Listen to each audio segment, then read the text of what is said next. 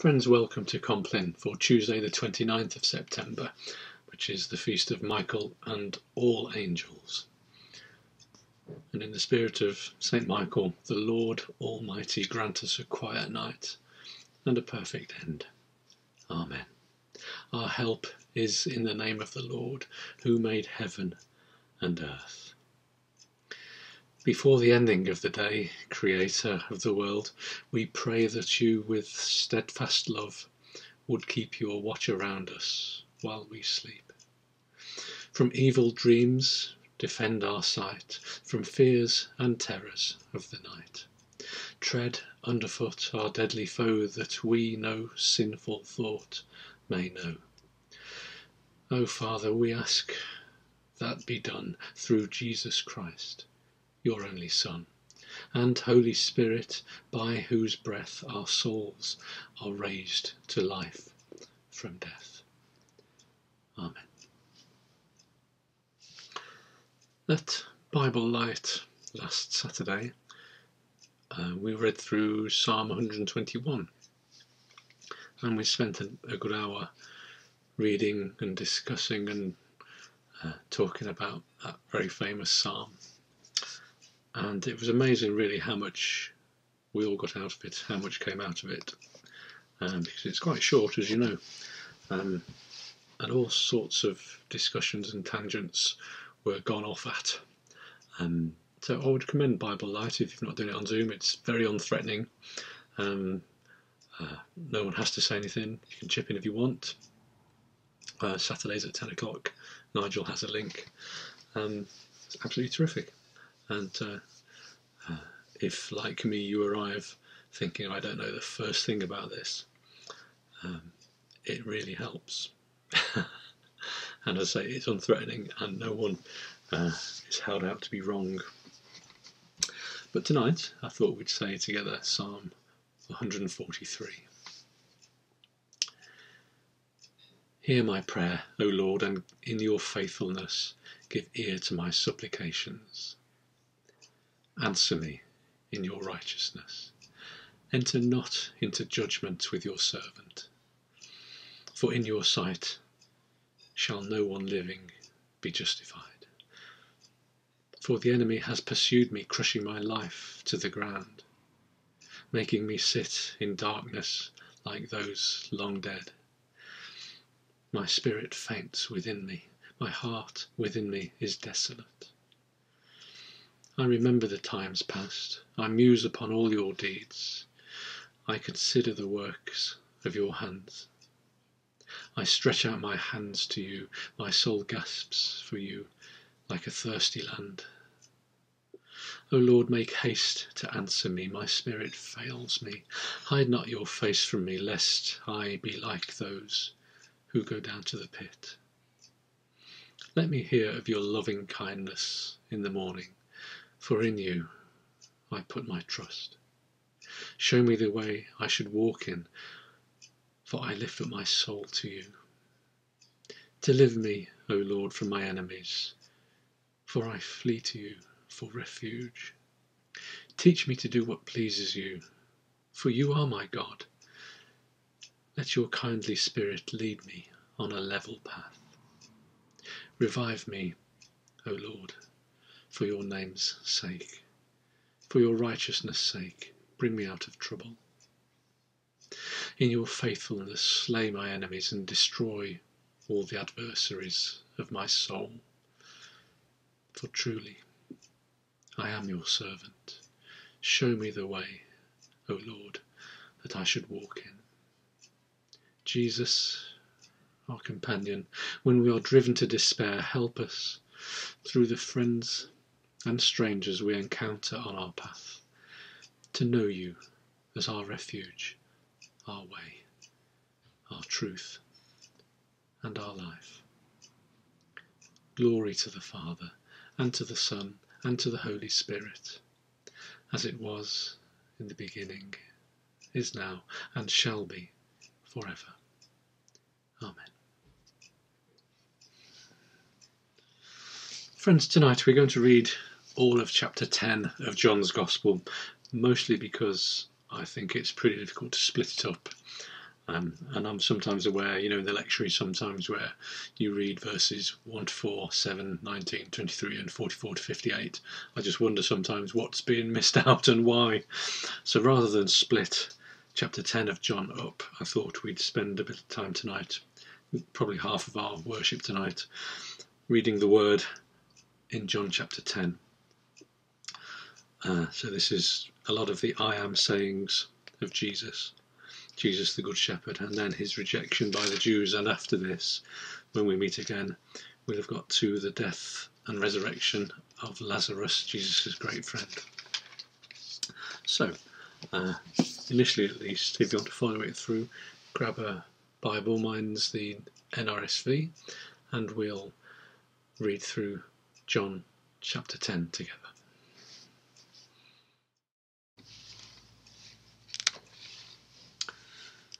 John's Gospel, chapter 10 Jesus, the Good Shepherd. Very truly, I tell you, anyone who does not enter the sheepfold by the gate, but climbs in by another way, is a thief and a bandit. The one who enters by the gate is the shepherd of the sheep. The gatekeeper opens the gate for him, and the sheep hear his voice. He calls his own sheep by name and leads them out. When he has brought out all his own, he goes ahead of them, and the sheep follow him because they know his voice.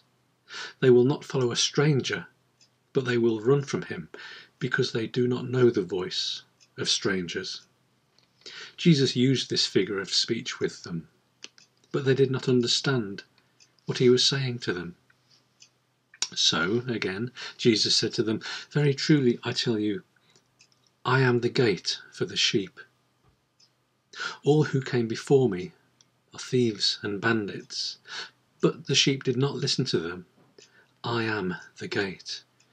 Whoever enters by me will be saved, and will come in and go out and find pasture. The thief comes only to steal and kill and destroy. I came that they may have life and have it abundantly. I am the good shepherd. The Good Shepherd lays down his life for the sheep. The hired hand, who is not the shepherd and does not own the sheep, sees the wolf coming and leaves the sheep and runs away, and the wolf snatches them and scatters them. The hired hand runs away because a hired hand does not care for the sheep. I am the Good Shepherd. I know my own, and my own know me, just as the Father knows me, and I know the Father and I lay down my life for the sheep. I have other sheep that do not belong to this fold. I must bring them also, and they will listen to my voice. So there will be one flock, one shepherd.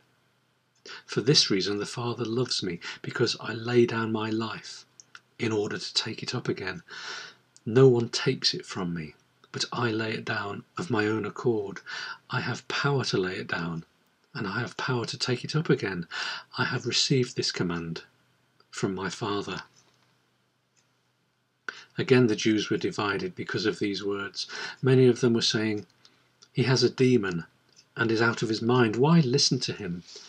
Others were saying, These are not the words of one who has a demon. Can a demon open the eyes of the blind? At that time, the festival of the dedication was taking place in Jerusalem. It was winter, and Jesus was walking in the temple in the portico of Solomon.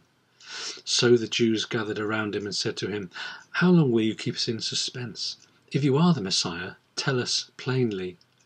Jesus answered, I have told you, and you do not believe. The works that I do in my Father's name testify to me, but you do not believe because you not be, do not belong to my sheep. My sheep hear my voice. I know them, and they follow me. I give them eternal life, and they will never perish. No one will snatch them out of my hand. What the Father has given me is greater than all else, and no one can snatch it out of the Father's hand. The Father and I are one.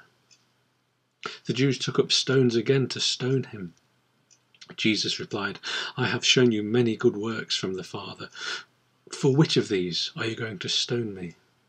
The Jews answered, It is not for a good work that we are going to stone you, but for blasphemy, because you, though only a human being, are making yourself God.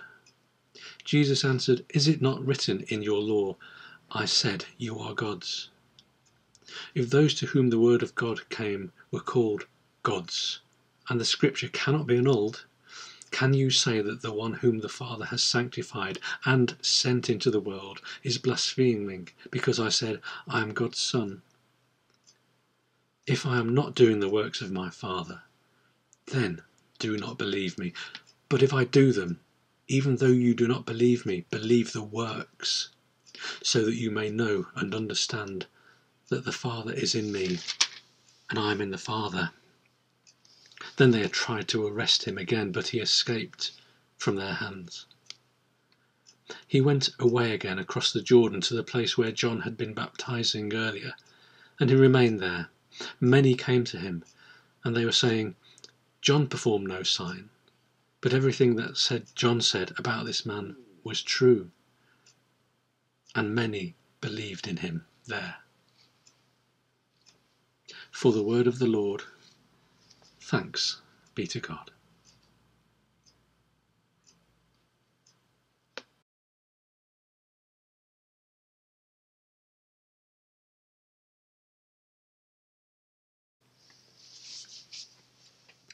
So, friends, let's pray.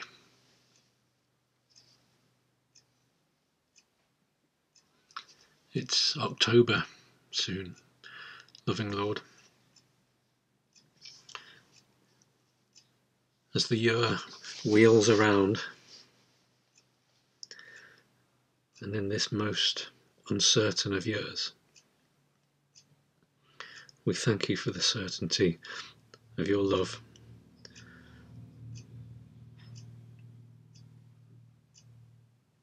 In such a changing world, changing in terms of what we can and can't do in lockdown. Changing our lives, changing our futures.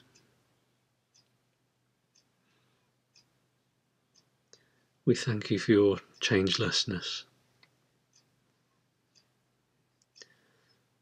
In this world of spirals and turns and twists, we thank you that you are a straight line that we can walk alongside. And we thank you that you walk alongside us. Lord, in your mercy, hear our prayer.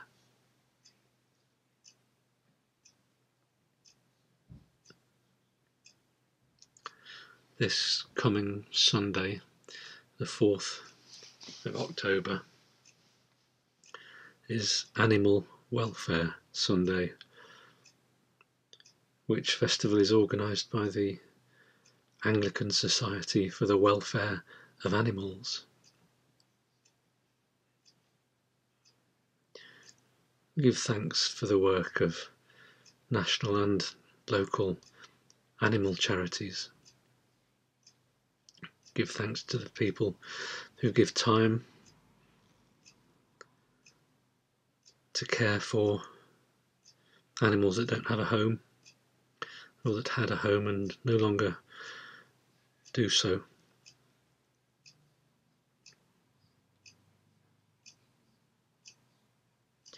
We're aware that all human and non human animals are a gift of God. And we give thanks for the comfort and the companionship that animals often bring to lonely people and the joy they bring to families. And we wish a good and successful day for the Anglican Society for the Welfare of Animals this coming Sunday. Lord, in your mercy, hear our prayer.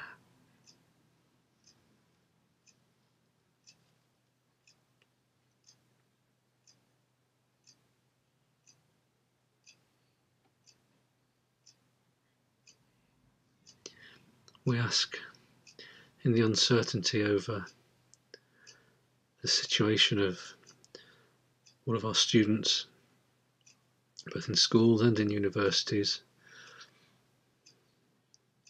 that some sort of clarity may emerge. What they can and can't do, the experience of their education that they have to undertake remotely rather than in person. We pray that this may be a successful time for them despite all. And we hold our education establishments and people who teach and people who maintain all these establishments, we hold their work before God. Lord, in your mercy, hear our prayer.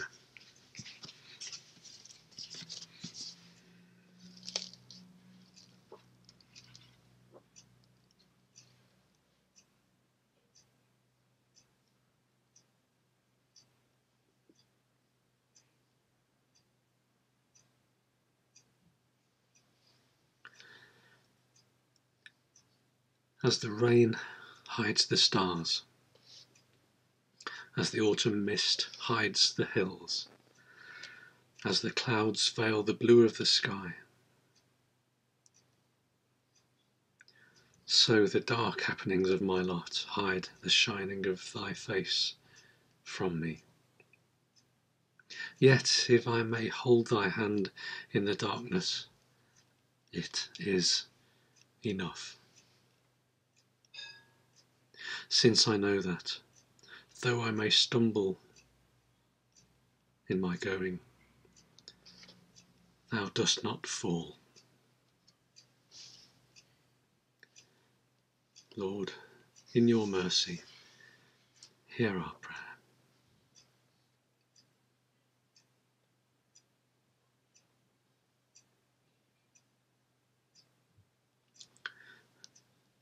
And a prayer by Saint Ignatius. Loving God, I know what must be done. Only now am I beginning to be a disciple. May nothing of powers invisible or visible prevent me, that I may attain unto Jesus Christ.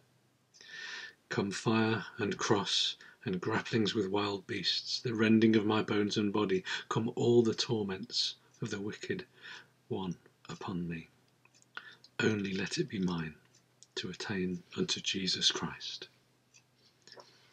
Amen.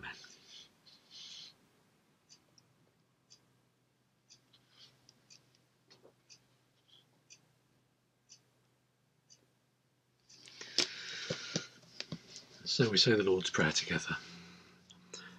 Our Father in heaven, hallowed be your name.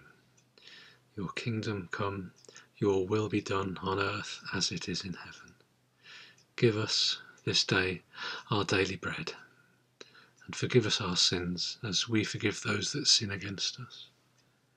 And lead us not into temptation, but deliver us from evil. For the kingdom, the power, and the glory are yours, now and forever. Amen.